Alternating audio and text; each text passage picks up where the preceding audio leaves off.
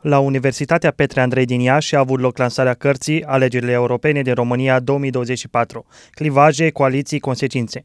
Volumul coordonat de către Radu Carp și Cristina Matiuța reunește 11 capitole scrise de politologi în plină afirmare. Uh, abordează o temă de maxim, maximă actualitate, cred că este primul din România pe această temă, despre alegerile europarlamentare din acest an. Iată acum suntem sub impresia alegerilor, primului tur al alegerilor prezidențiale, înainte de uh, alegerile parlamentare și dorim ca acest volum să lanseze deja dezbateri în această scurtă săptămână care ne așteaptă. Profesorul Anton Karpinski și istoricul Florin Cântic au prezentat volumul apărut la editura Institutului European. Coordonatorul Radu Carp a arătat de unde a venit ideea acestui volum.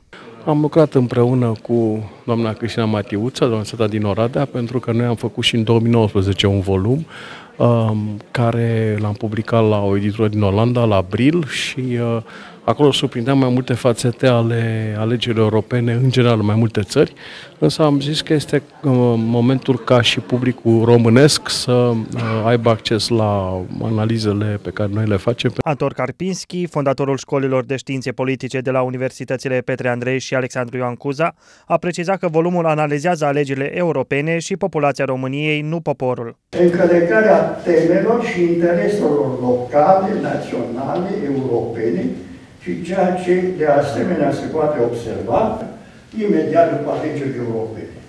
Autorii analizează în detaliu felul în care au s-a manifestat în campania online și cum anume. Pentru volumul îngrijit de Universitatea Petre Andrei și-au dat mâna cercetători consacrați, aflați la maturitate și tineri politologi în plină afirmare. Reunirea generațiilor de analiști politici reprezintă o inițiativă excepțională în peisajul academic românesc.